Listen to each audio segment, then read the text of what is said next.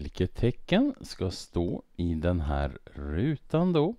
Och jag ser funktionens värde här, f, när x är 1. Så funktionens värde när x är 1. Vad är det? Är det större eller mindre eller lika med 0?